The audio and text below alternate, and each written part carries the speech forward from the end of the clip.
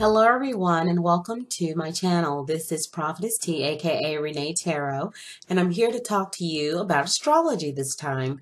The um, thing that I want to talk about is the truth about the 12th house and the other houses in natal charts.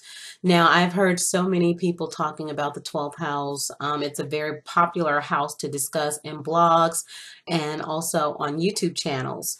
Now, I do have my window open, so you may hear some noise, but I really do want to have it open today. Um, this particular input can be considered as part of the tools that we'll be going into when we talk about the um, spiritual science lesson that we'll be getting into next week. Now, um, as a person with a 12 house stellium plus, which means I have more than eight houses or more than four houses in the 12th house, I definitely feel like I can talk about these the, this house. Um, in addition to that, every zodiac sign is at home in my houses. So everything is where it's supposed to be. Aries in the first house all the way up to Pisces in the 12th house. So everything is kind of ha- operating in the way that it should be. Now, I want to just put in a little bit of a commercial in here. I do have a new book called Think You're Cut Out to Be a Superstar, and it's about the astrology of superstars and what to look for in a superstar um, pop singer. I will put a link to that in my info box. Now, I also want to explain that just quickly delving into this topic, each tool that you use with regard to divination or spirit science or um, non-traditional religion is kind of like a doorway that has the potential to get the attention of the masters who live in those houses. Um, if you follow my Dreamscapes page on Facebook, I talk about a dream that I had where I went into a mansion and I saw tarot cards figures hanging there and basically hanging out there. And basically, it was a, a dance, a masquerade ball, where they were inviting me to come in because the masters who reveal information about these tools exist on other planes and they are the best teachers. They are the best ones to go through. We'll talk about that in the spirit science class. Now um before i do any type of yt or youtube videos on this I kind of question my motives. I want to ensure that I'm doing everything that's helpful to cover um, these topics and not just for views. And I do hope and I will that only those people who really need to know this information and who are going to use it for good purposes and to help people will see these videos. Um, if I get millions of views, great that that many people want to see these videos. Great for me. But if I don't, even though I'm a partner with YouTube, I, I'm sure that the in the universe I've always ensured that I have everything that I need. So this is not about just getting views and for shock value. Um, I used to feel like when I was reading charts, specifically natal charts, which is kind of my specialty in astrology, that I just couldn't get enough information. I mean, it's like, okay, you've got your 12 astrological signs, you've got 12 houses, the blah, blah, blah, blah, blah. But how do I delve into this? And so what I found out was that the houses and the charts are um they're like wheels within wheels. Everything is within everything is within everything it's the perfect example of sacred geometry where one house is revealing various levels of a specific thing. And there are certain aspects of these houses that as we continue to study this ancient science more is revealed to the learners and the masters and the teachers that exist at any present time. Now, there have been times where I have looked at an astrological chart and everything just shut down on me. I just, it's like, I couldn't remember what the symbols were. It just looked like mumbo jumbo. At that point, I would call it a day and say, it's not for me to do this time. This is not something that I could just do when I want to. It's not like that. Now, that's what I just said is typical of the 12th house. People who have, um, a lot of natal um, relevance in the in the 12th house typically will self-correct they a lot of people call it um, self-sabotage but what it really is is that you don't wait for somebody to come and lock you up and you don't wait for to be arrested and you don't wait you t- you typically will see that you're doing something wrong and you'll see that there's something wrong with you and you will stop it yourself. And so sometimes when I feel that sense of foreboding to stop looking at a chart or not to delve into somebody's chart, especially when especially if they haven't asked me to, I I just use I just get away from it and I won't I won't use this ancient very special knowledge for that purpose. Um, this is something that's typical of people who have specifically suns in the 12th house. And these people have considerably been people who teach and people who write because they understand as creators that they um, have a lot of power in their ability to disseminate information, specifically if they have Mercury in either the 10th house or the 12th house, or if they have the sun in the 10th or the 12th house. These people probably will have a lot of influence and they have to be careful what they say because they know they can really um, affect people. Now, um, let's see here. Some people will get into this art of foretelling and past telling because you can tell the, the future and the past with an astrological chart and they will just tell you everything you want to know. Well, people in the 12th house, if they they happen to be a reader or an advisor or a counselor or a psychic, they won't tell you everything that you ask because I'll give you an example. Once a lady um, who knew her husband was having an affair and he had admitted to the affair asked me if I could tell her who the name of the person was, and I did receive a name. Um, the doorway had been open I was using divination tools to get the information for her. And since the doorway was open and the masters were in there and they saw me when I opened the door, the name came to me, but I was basically given like a, I wasn't able to release it to her. And so what I told her very nicely was that, yes, I do have a name, but I cannot release it to you because it could be somebody very close to you that could really hurt you and you know it could just ruin a lot of stuff and it's not for me to give you the name because i believe that you guys are supposed to heal. Now they have gone on to repair their marriage and have another child. So by me not divulging information it just really helped the situation and that's why people who have lots of planets in the 12th house really make pretty good readers because they know what's good for people. They kind of have a an un, they have a very very good knowledge of universal law. They're just born with it so if they do something wrong, they kind of know what they're doing. Um, with regard to um, house readings, you have, and this is still part of the general, just delving into it. If you don't understand conjuncts, squares, opposites, trines, you just don't even need to be doing house astrology. It's no way you can do it. It's no way you can do it and be effective. Let me give an example of a 12th house reason why you can't do that.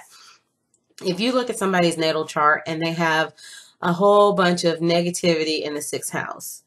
So you think they're going to be sick, whatever, blah, blah, blah, but they're not, and you don't understand it. Well, everything in the 10th, in the 12th house opposes the things in the sixth house.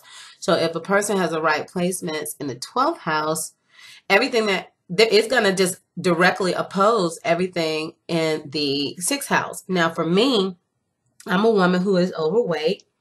And I actually heard from the masters of that house, the sixth house, that it was the house of appetites, the house of desires, the house of wants, what people want that they may not necessarily need.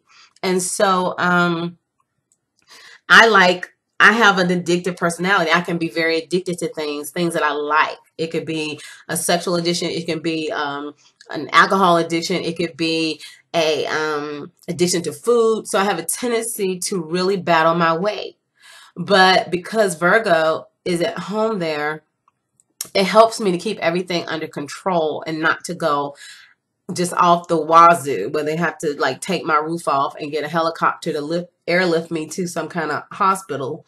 But at the same time, I have some good placements in my 12th house that attribute themselves to divine healing. So I've had like at least three different episodes in my life where even though my sixth house was afflicted, I suffered, I, I enjoyed um, divine instantaneous healings to never go back to those diseases again. So the 12th house in that aspect saved my, my hide. So your 12th house will directly oppose the sixth house and it will square um, the other the house that it squares it will help to offset those houses as well. And these are good things. These are things that will help you when you get to a point where you're you're you don't have to be afraid of the 12th house. Let's just put it that way. Now from a standpoint of the confinement 12th house is basically self confinement um, it's a situation where you just don't want to be around people because most likely you're empathic. Most likely people wear you down, they wear you out. You can be someone who is highly psychic in the 12th house, and because of the motivations of the people, it can wear you down because you're taking on their personalities. So you will self confine when you're in the 12th house. It is not a house of confinement as in somebody else confined you. It's a house of self confinement. And one of the things I've noticed from studying the charts of people who are in jail is that they feel comfortable in jail. They feel like they needed to be put in jail because jail was the only thing that could save them. And a lot of people will say that when you have mental illnesses, a lot of times you can't get the help you need in regular mainstream society. The only place you can get help for mental illness is in prison. And it's sad, but in many cases it's true. So don't look at the 12th house as a place where, where you're just confined. There are other things that will will get you confined with regard to that house and I'll get to that just a, just a little bit later. Now, the second thing about the house is, that they're like a clock. I, I mentioned that they are a wheel within wheels. Um, they also are um, a clock of life and a clock of generations and a clock of your existence as a soul. So you're looking at various things and each piece in the house tells you what you're looking at. Are you looking at an occurrence that happened in your childhood? Or are you looking at where you are in your existence as a soul? You have to know the difference of what you're looking at even to even begin to look at the houses. Um, if you're typically the smaller asteroids will indicate situations that are occurring in your life. And this is why time of birth is important. Quick example, um, there was a person who had a um, a rape in her chart and it I didn't have her time, so I went with noon her time of birth. I went with noon, and she ended up having. I was like, I, you know, I knew this person. I was like, you were you? Did you have any kind of instance with a sexual abuse situation as a child? She's like, I don't remember anything. And then she's like, I think I was born at X amount of time, and I and I put that time in, and then that's when I saw that it happened when she was in her early twenties. And I was like, okay, yeah, this happened in your early 20s. What was it? She was like, yeah, this guy, he forced himself on me and it was a it was a rape situation. I was like, okay. I see it now. So you can still read a person's natal chart and you can tell them generally what's going to happen to them when they um, have um, certain instances in their chart, but you can't tell them when it's going to happen. So that's another thing about the 12th house. The 12th house tells you when something is happening. It's going to happen later in life. 12th house is the house of old age. It's the house of maturity. It's the house of the end of life. So a lot of things that you find in the 12th house will occur when that person is aged. Now, there's another thing about the 12th house that people need to understand. Back in the um, hundreds of years ago, there there came out some writers of astrology who call themselves Raphael. Now, they it said that there were various different Raphaels, and it was kind of like they were channeling a spirit named Raphael, but it was coming through different people one of the things that Raphael taught was that houses can be, they can actually indicate who the house itself, or it could be an indication of another house. For instance, if you want to know about something having to do with your children and you look in your own fifth house, well, if you look at the eighth house of the fifth house, or the second house of the fifth house. And what I mean by that is um let's take your fifth house and then you go eight houses from there including your fifth house. So five six seven eight nine ten eleven twelve. The 12th house then indicates the death of your child that is something that people do not know. They don't understand. They think everything having to do with their child, their children, will be in the fifth house. But you can find out things about your children in the 12th house. So let's say that a mother who's going to have a child who dies um, the eighth house from her 12th, her fifth house is her 12th house. She has Mars in the 12th house. Well, that could mean that her child may die a very harsh death. It can mean certain many things, but you have to read the entire house, the house, all of the chart to kind of see what you're looking at. And in some cases, you have to look at the child's chart and the father's chart or the, the brother's chart. Give you an example. So the mother has Mars in the 12th house.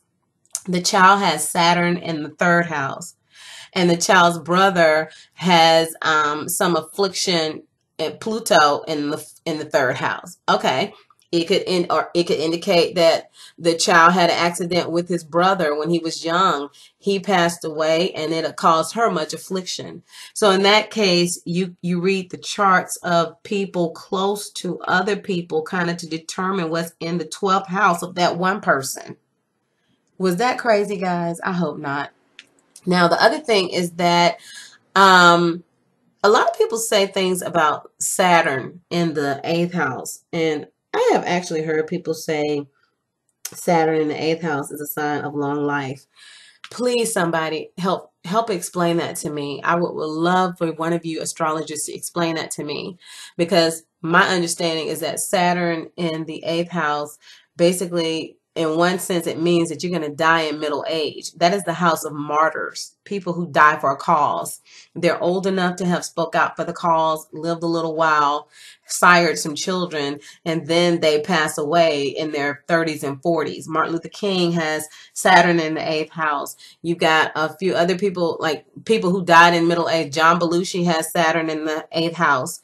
Um, but Saturn and the in the third house, it's just speaking about houses, Saturn in the third house, Saturn in the fourth house indicates in many cases, in some cases, a child who dies early. Okay, so Saturn in a house, Saturn in the 12th house means that most likely you will live a long time. Okay, my thoughts, that's how I see it in studying the charts of others.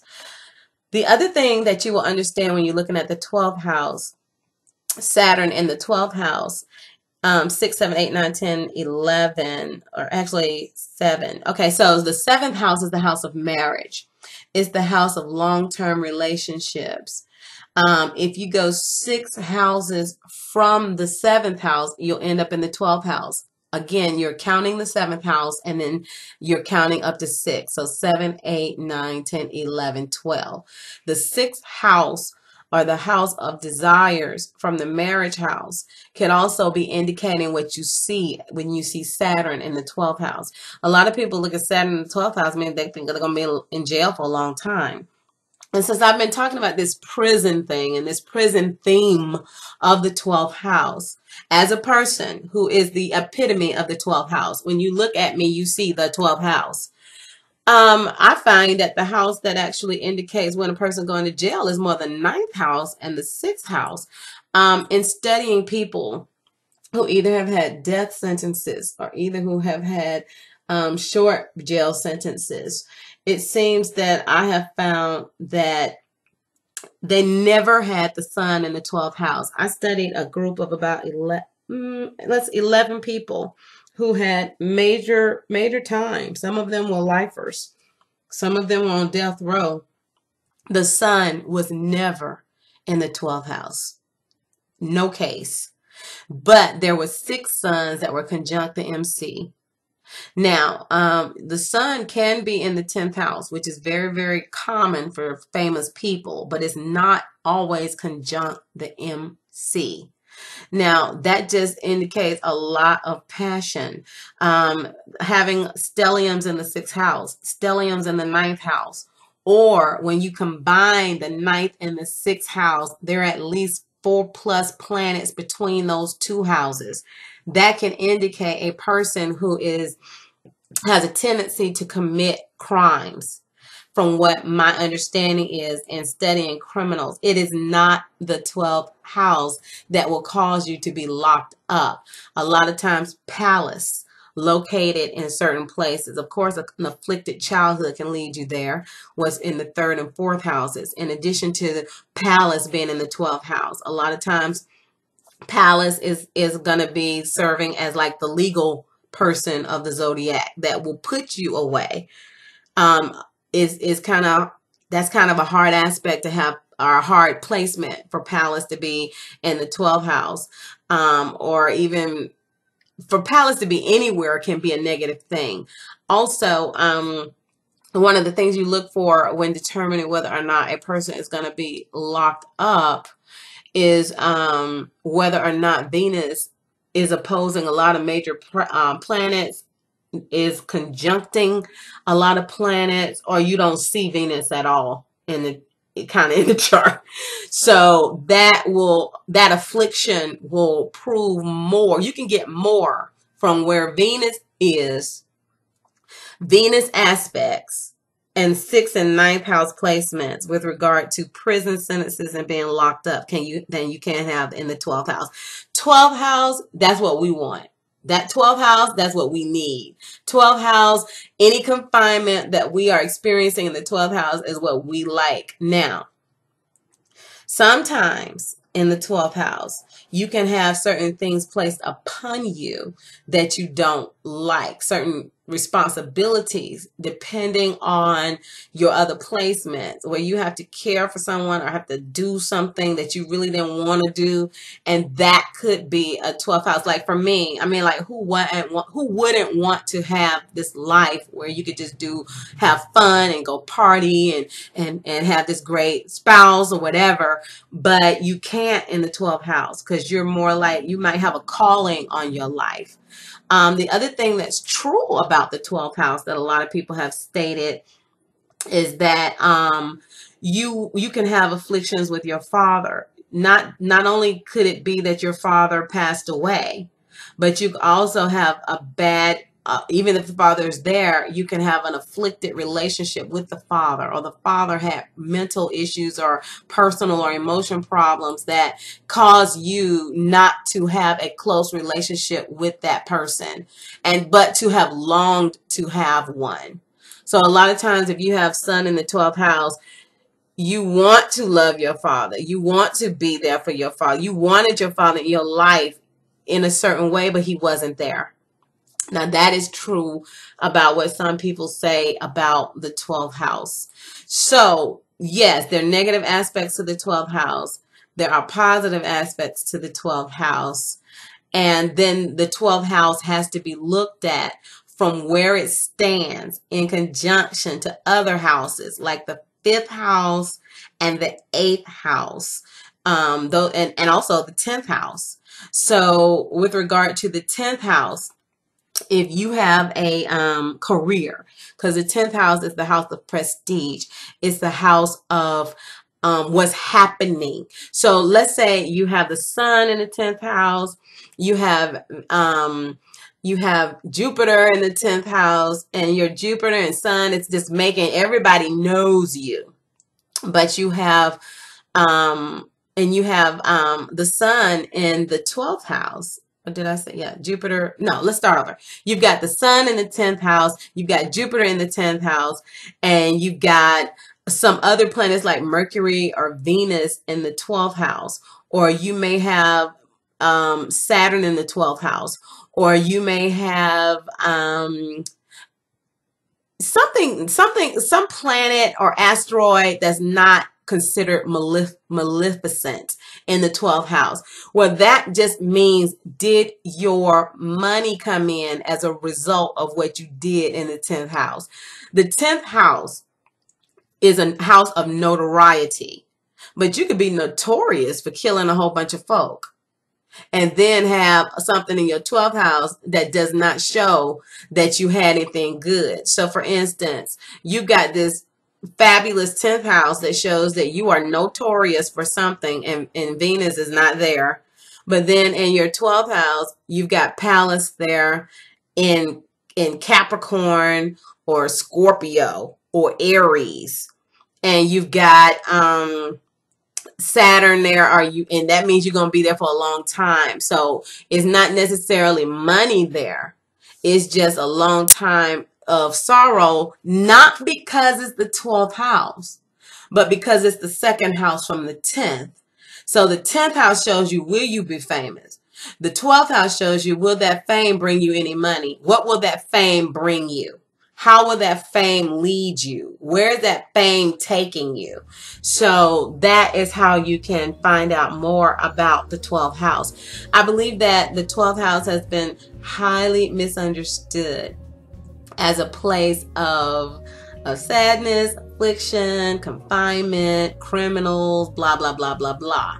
But the the thing that's gonna again tell you about that is more the the actual pieces to the puzzle, the pieces of the game that's to tell you about that kind of stuff is Pallas, Lilith, Ceres, um, and some other small minor asteroids in your specific that that actually indicate more about your specific life that will tell you what exactly is happening in your life this time, this particular carnation in the 12th house.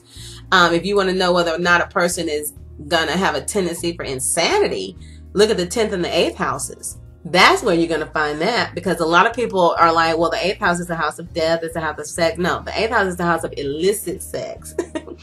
it's the house of uncontrolled sex, sexual addictions, afflicted sex. The house of real sex, normal sex, is the fifth house. So let's let's first understand how to read the chart. Study the ancients, study the masters. Open up yourself, do meditations to ask the masters to come in and show you about the 12th house before you start putting all these confines on the 12th house and scaring people about what's in their 12th house. Hopefully I have said something that will help you. Looks like I've gone over 20 minutes, but I'm trying to keep everything below that time. Take care, love you, and be sure to step in next week starting with the um, first series of the Spirit Science teachings. Bye-bye.